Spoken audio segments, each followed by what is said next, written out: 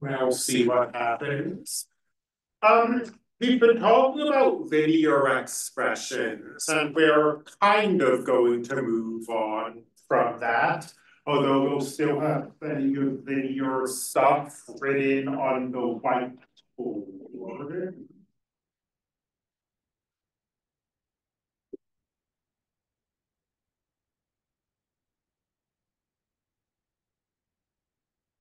The topic today is inequality. And I'd say we're kind of moving on because we're going to learn how to solve some inequalities, but the only inequalities we're going to learn how to solve are linear inequalities. So it's still kind of a sequel to what we've been doing. And I mean, a linear inequality is, well, I guess exactly how it looks can vary, but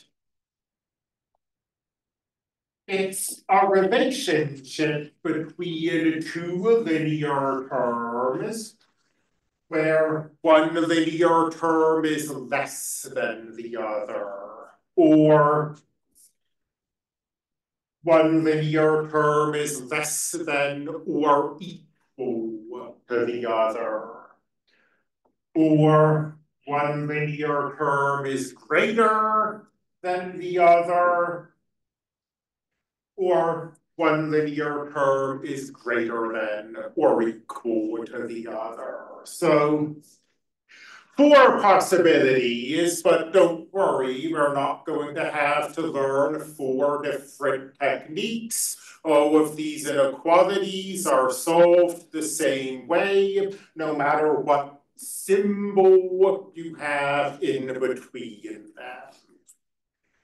And solving linear inequalities is very much similar to solving linear inequalities. So we should probably start by making sure we're all on the same page there.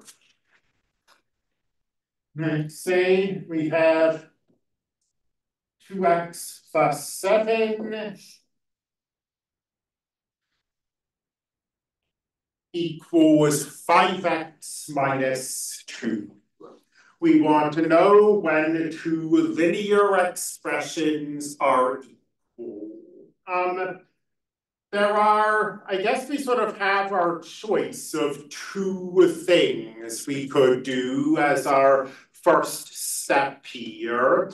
Um, somebody decide for me, what would be a, um, an acceptable first step in solving this equality? Yeah. I hear subtract 2x and I like it. So what we ultimately need to do is to get our x's together on one side of the equality and our numbers together on the other side of the equality. And that's why I said we have options what we've decided to do is take the x's and move them over to the right. So now our x's are all together on the right-hand side. Well, we could just as easily have subtracted 5x. I mean, it would have given us a negative sign, but if we subtracted 5x,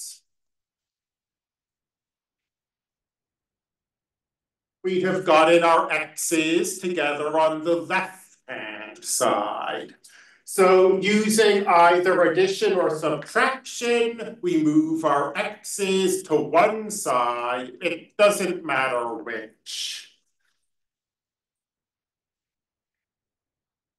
And then I mean, we can maybe guess what to do next if we want our x's together on one side and we want our non-x's together on the other side, then our next step should be what?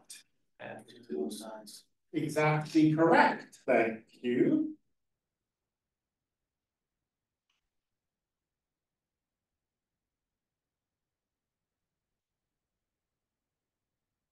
And we finish this out. Now by division, exactly correct.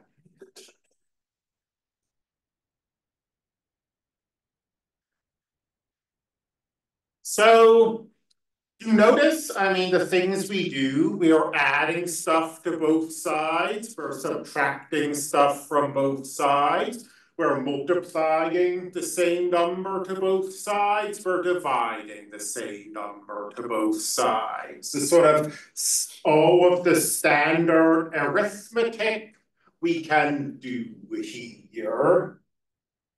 And if instead of an equal sign, you have an inequality, it's almost the same. Like if we have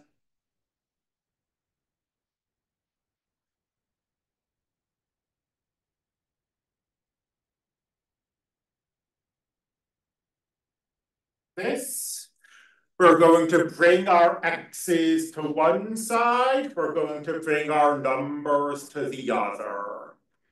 Um, does anybody remember offhand, or does anybody know, what's the only difference between solving an equality and an inequality? There's only one thing that's different in the entire process. Okay, that's fine.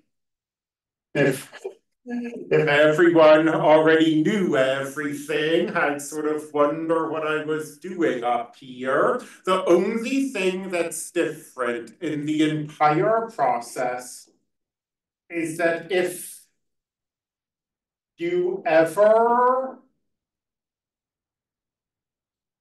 multiply or divide by a negative number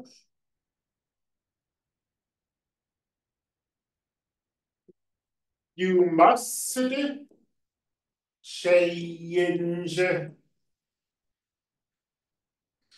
the direction of the inequality. Yeah. And I'll demonstrate this using that example I've just written down.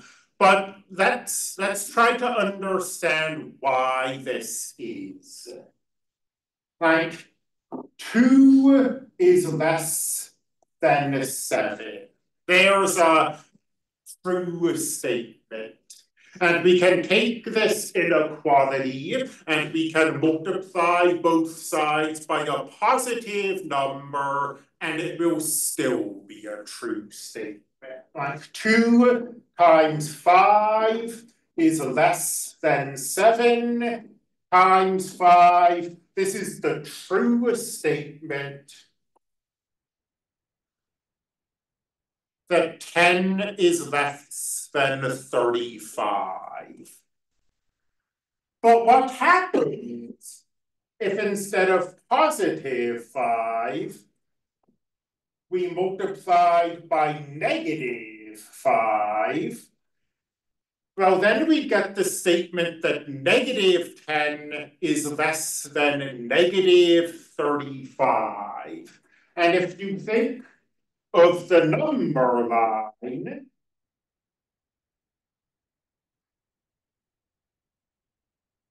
that is a false statement. Negative 35 is over there to the left of negative 10. Negative 35 is less than negative 10. So when I talk about flipping the direction of the inequality, our less than sign becomes a greater than sign, and now I have a true statement. Negative 10 is greater than negative 35. So if you really want to, you can avoid having to use this rule, but and I mean, the way you avoid having to use this rule is by arranging your subtraction so that the number in front of the x is positive. So here, six x minus seven is less than four x plus two.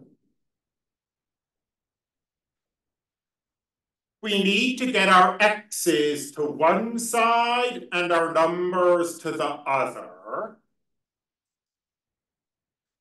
And what I mean when I talk about keeping the number in front of the x positive, well, there are two potential first steps here. I guess there are really four potential first steps. Um, but we can bring the x's to the left or we can bring the x's to the right. And if we bring our x's to the left,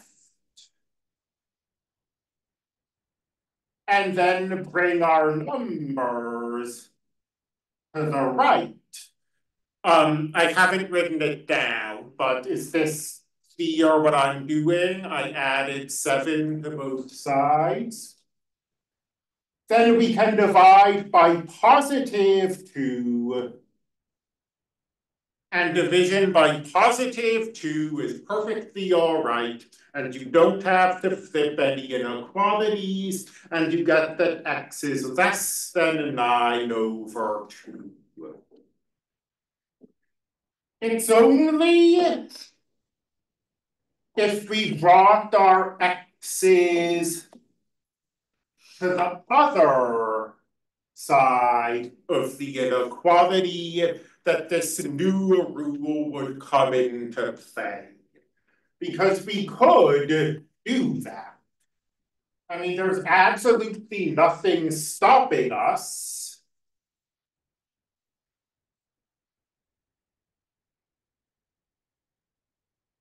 from bringing our x's to the right instead of to the left.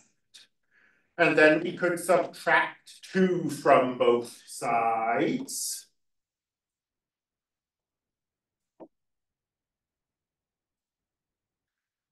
But now to get x by itself, we have to divide by a negative number, by negative 2.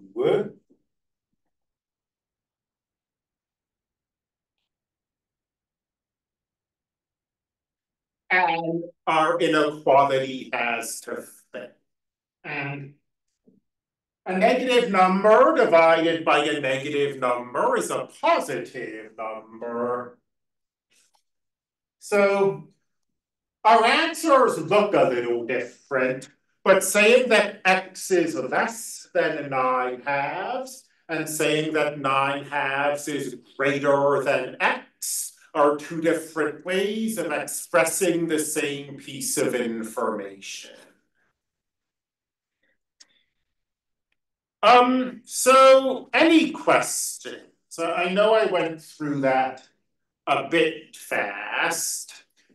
Um, again, if we can solve equalities, we can solve inequalities. The only thing we have to bear in mind is that one fact, that one difference. And I guess because we do have a little time, I mean, even bearing in mind that we're getting fast work, I guess I'll talk a little about interval notation. It's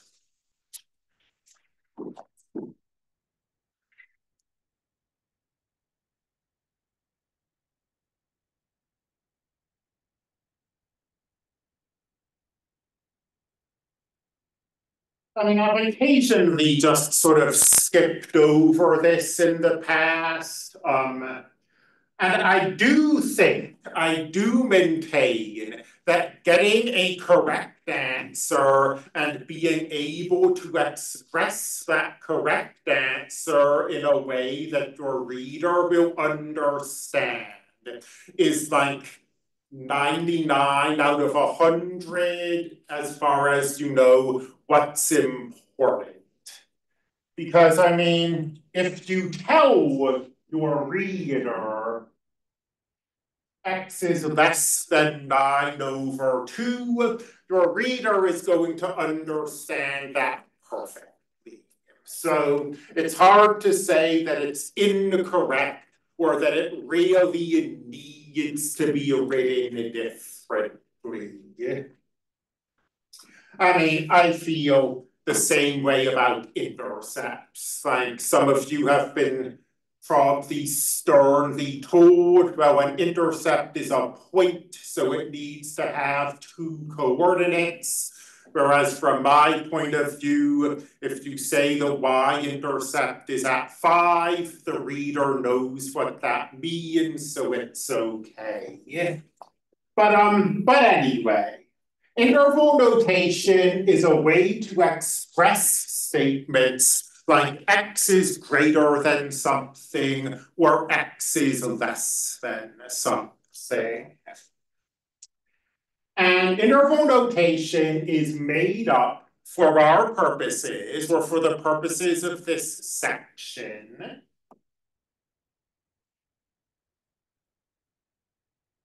of open brackets closed brackets,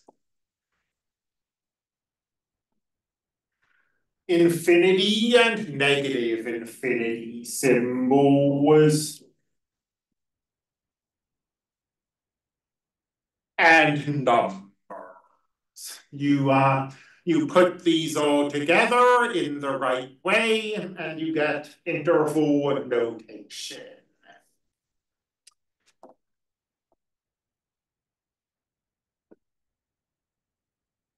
So, for example, let's start here. Suppose we want to say that x is greater than a. Now what we write is this. And I'm going to take this statement and I'm going to break it down a little interval notation, which I actually kind of hate because it looks the same as point notation.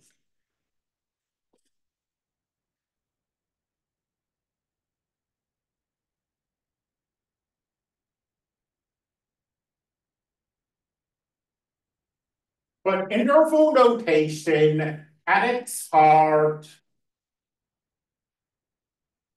looks like this. A and B separated by commas and then some permutation of open parentheses and closed brackets. And all of these are, I mean, these are four very similar things that I have written on the board.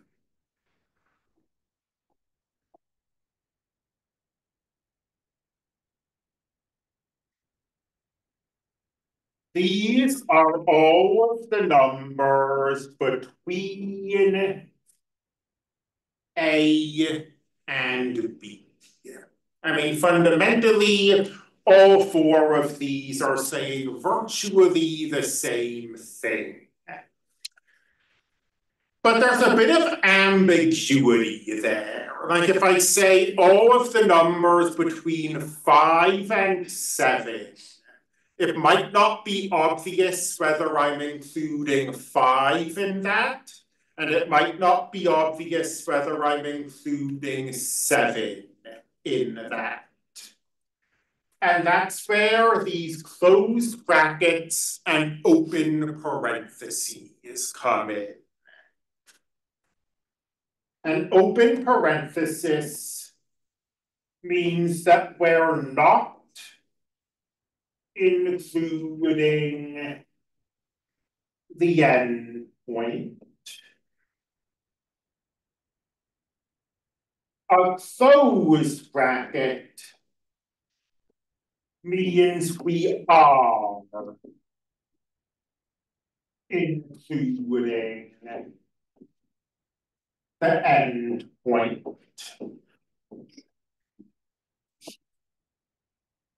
Um, this is pretty standard notation in American classrooms and American textbooks. Some non-American mathematicians have slightly different notation, like sometimes we use backwards brackets to mean, but we'll use the, the notation that is standard for this country, which is open parentheses and closed brackets. So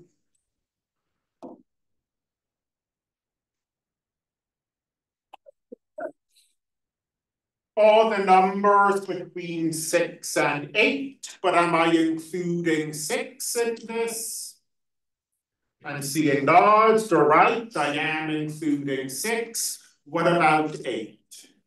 I'm seeing shake, um, head shake. Again, you're right, eight is not included. So, um, when we solve these linear inequalities, though, you know, when we get statements that x is greater than seven, um, and we want to use these intervals, these closed brackets and open parentheses to express this, I mean, the issue is that an interval has a lowest point and a maximum point, right? It has a starting point and a stopping point, as it were. X is greater than seven Okay, so we want all of the numbers that are greater than seven. But there's no number we can write here. I mean, we don't want the numbers between seven and ten, or seven and ten million, or seven and ten billion. We want all the numbers greater than seven. And that's where these infinity symbols come into play. We'll think of the statement that x is greater than 7 as meaning that x is between 7 and infinity. And we therefore use our interval notation as you see it on the board.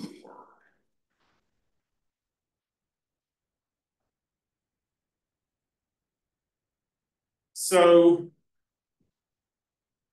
give people a chance to write stuff down.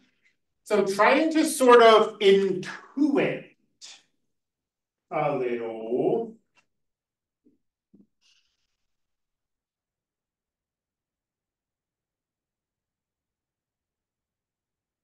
Let's say I have the statement that x is less than or equal to three. How do we imagine I would write that in interval notation?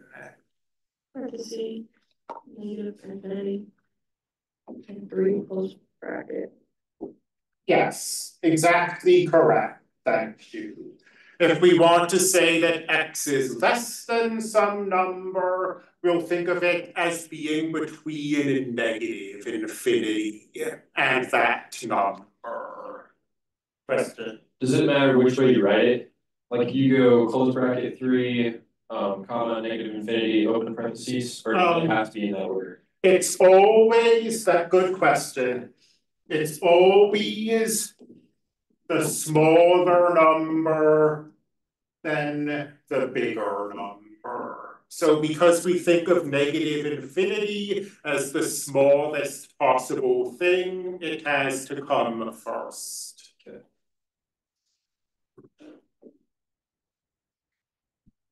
I guess, um, one final comment. Um, infinity is not a number, therefore infinity and negative infinity can never be included in an interval. Therefore, you should not be writing this, and you should not be writing that. Because again, those closed brackets, those square brackets are saying we want to include this number and we can't include infinity, we can't include negative infinity, they're not real numbers. So other than that, um, yesterday, nobody had a chance to uh finish all of the classwork in class. Today, I'm more hopeful that you'll be able to. So